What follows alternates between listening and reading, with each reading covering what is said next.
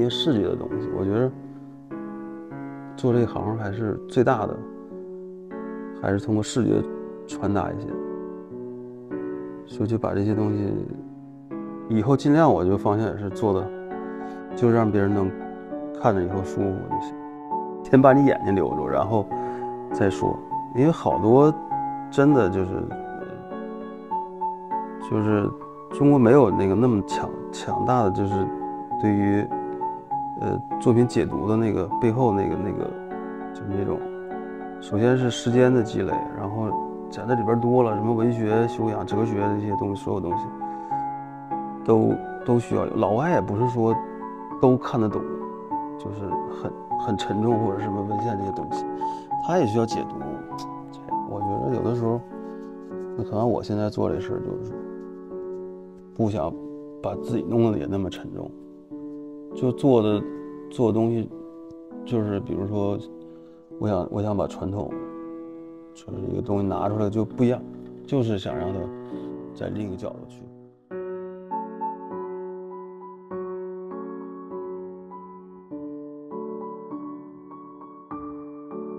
去就是一些景区，你看那个山的时候，就是或者特强光，或者是你用余光扫的时候，它在一定程度程度下，它是那种青青色的那种，就特别是南方那种那种，就那种山，如果有雾的话，它那种是淡蓝色的那种，啊，它有一种屏障的感觉。所以说，我觉得他们是用一是用水墨的浓淡然后表现，再一个就是，如果想颜色的话，我觉得他们肯定是。第一个想到是青，对，然后再结合里边有些绿植啊，或者山上那植被啊什么的，它可能就反差出这种，就是一点点变成演化成那种。《千里江山图》里面，它那个都是最好的，就是颜彩的都磨出来的。青绿山水就都是看的，永远看都是画。我就想上我上山拿两块石头，然后然后扫描。扫描出，然后结一块，然后就给它打印出来了，就雕刻出来了。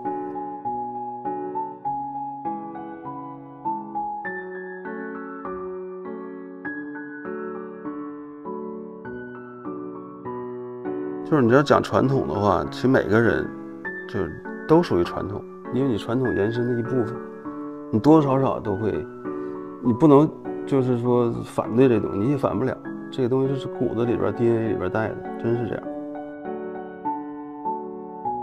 最早的时候就是想想把水墨的那种色彩给它放到空间里面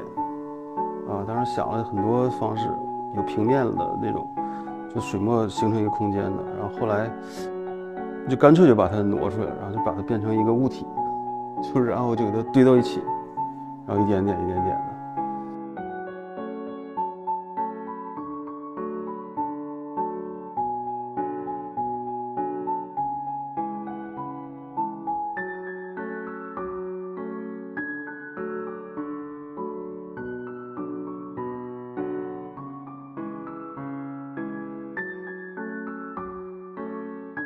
定义好自己，然后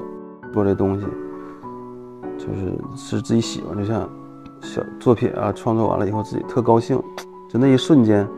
还有画画的时候那个，就是在过程当中，就是有的时候你会就那么几分钟，可能就就够了，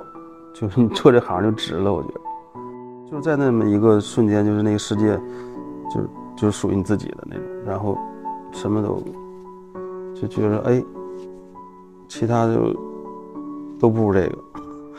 这就值了，这感觉。